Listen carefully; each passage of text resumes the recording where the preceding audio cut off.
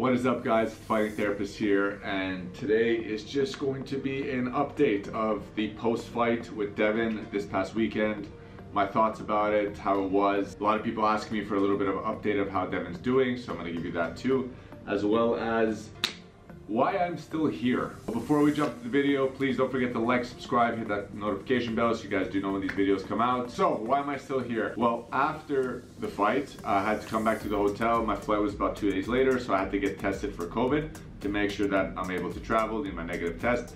So I tested positive. I got no symptoms at all besides feeling like a little nauseous but not really. I kind of, I usually feel like that way when I'm stuck in a hotel room and not allowed to get fresh air. The air conditioning is just constantly on and I don't really have much room to kind of go anywhere. So I've been walking up and down this hallway, just trying to walk and move. Devon and his wife Jody uh, are still in the hotel as well, but so I've been FaceTiming Devon. We actually have a FaceTime today just to talk because I can't really do anything else. And uh, hopefully I can get a uh, test. Uh, people could come to my room and get tested. I'm waiting for the organization to kind of figure that out for me. So I'm pretty much just here waiting for some good news.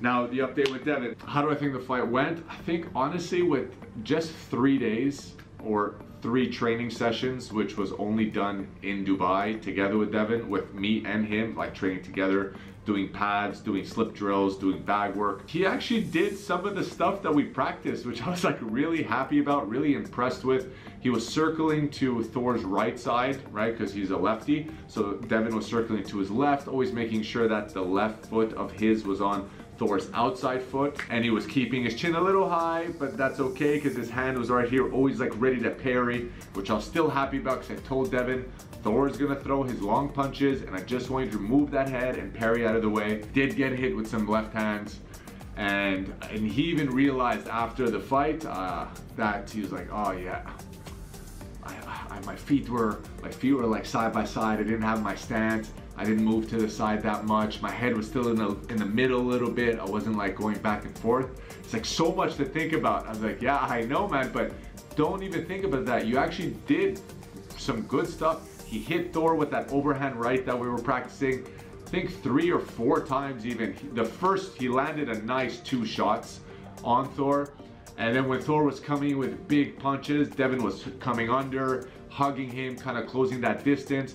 So I was really happy about that too. On the other side of things, I, I don't really have anything bad to say because there wasn't really much time. There wasn't any time to do like hard sparring, right? One of the big things that Devon said was he just wasn't used to like strong punches like what Thor was throwing. And that was because we couldn't do that, you know, three weeks ago in sparring. Devon had zero knowledge of anything.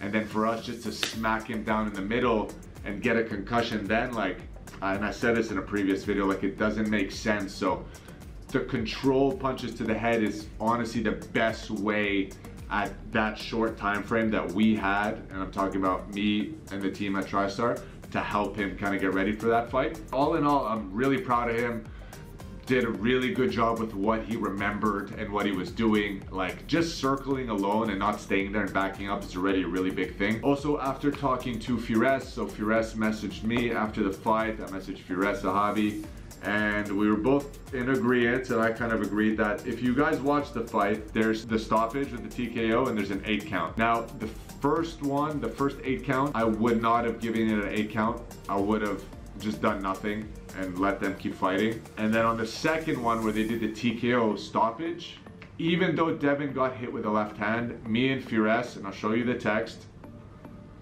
we both agreed that it was way too early.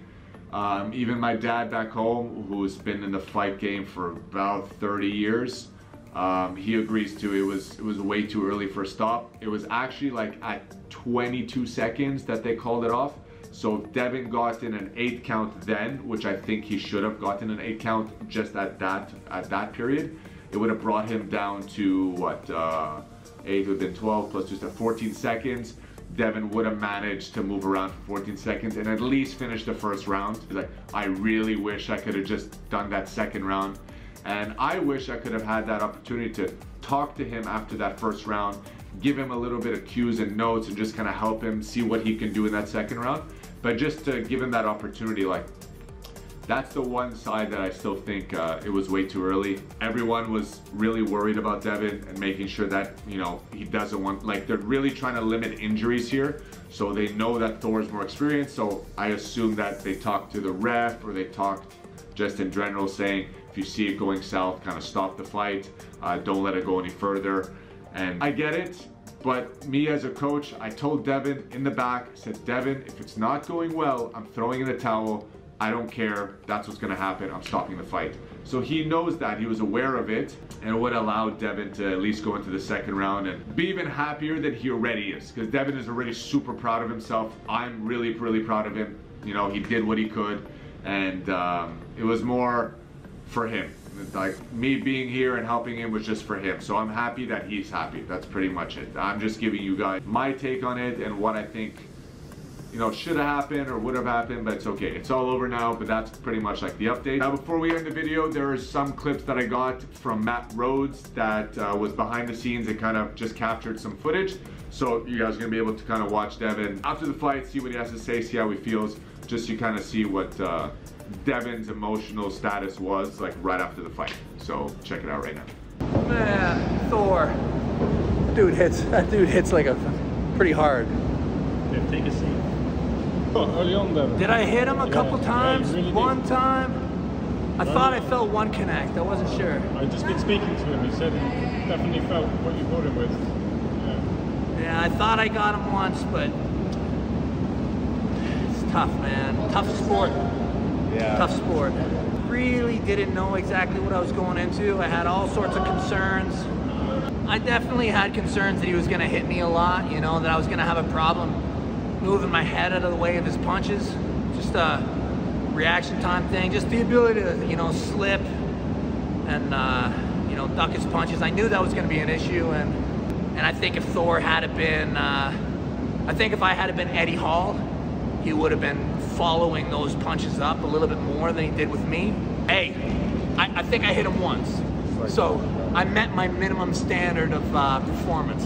So No, no regrets about taking this fight. It was a huge. I just huge wish I could have. Uh, I wish I could have done a little bit better. Uh, I wish I could have uh, had, you know, just been a little bit more. Uh, I guess less cerebral. You know, more instinctive. This kind of an opportunity, I feel like it's a, kind of a once in a lifetime thing to be have the opportunity to step in against, uh, you know, a personal hero of mine. Be able to step in the ring with them and kind of go to war. What a, what a great memory I've created for myself. Yeah. All right. So with that said, you guys got to see what Devon said after the fight. Got to get my take on everything and kind of the situation right now with uh, me being here still. But uh, I will keep you guys updated. But please don't forget to like, subscribe, hit that notification bell, and I will catch you guys soon. Have a good day. Peace.